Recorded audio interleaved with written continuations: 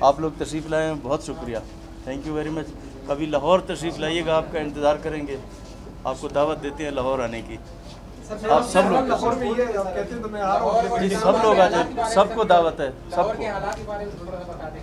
ابھی یہاں مناسب نہیں ہے کچھ اس طرح کا فورم نہیں ہے کہ میں ڈسکس کریں ایک سمپل حالات بالکل پنجاب کارڈیالوجی ہاسپٹل کے حوالے سے پنجاب گورنمنٹ کیا کرنے جا رہی ہے پشتان کے ساتھ؟ اپنے بجٹ میں ہم نے پیسے رکھ دیے ہیں بلوچستان کے کارڈیالوجی کوئٹہ کے لیے تو انشاءاللہ اس کو ہم سٹارٹ کر رہے ہیں۔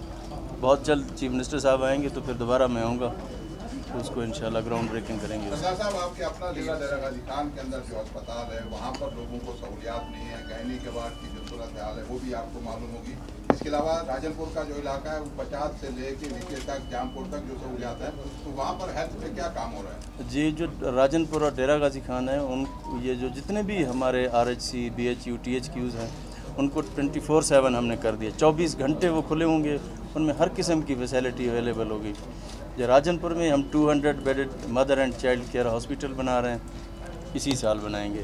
اور ڈیرہ غازی خان کے اندر چار ارب روپے کی مالیت سے institute of cardiology Dera Ghazi Khan میں state of the art establish کر رہے ہیں۔ جس کی رجسٹریشن ہوگی R I C Rawalpindi کے ساتھ۔ تو انشاءاللہ بلوچستان سے جو لوڈ ہوگا وہ بجائے ملتان کے ڈیرہ غازی خان پہ کنورٹ ہو جائے گا۔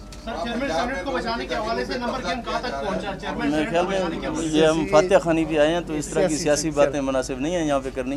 لوگوں کی زمینوں پہ وہاں کے ضلع میں قبضہ کیا جا رہا ہے اور اس میں اے سی بی سی تک ملوث ہیں لوگ فریاد بھی لے کے جاتے ہیں لیکن اگر کوئی ایک ثبوت آپ مجھے دے دیں۔ آپ مجھے دے دیں فائل دے دیں میں انشاءاللہ کل ہی آپ کو اس کا جواب دے دوں گا۔